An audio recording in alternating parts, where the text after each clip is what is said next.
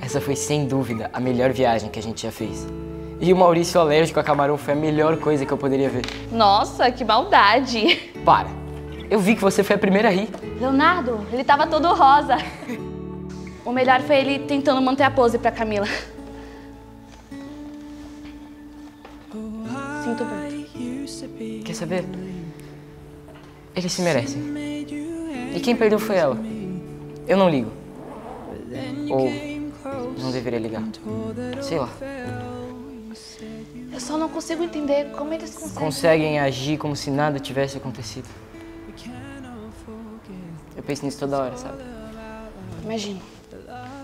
Ou acho que imagino.